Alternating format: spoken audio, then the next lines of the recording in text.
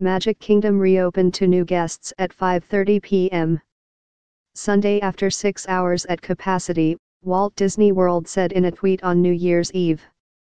Epcot, Disney's Hollywood Studios and Disney's Animal Kingdom all remained open.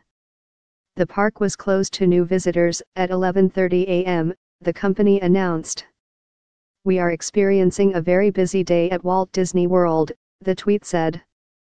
Magic Kingdom was also temporarily closed on Christmas Day due to crowds.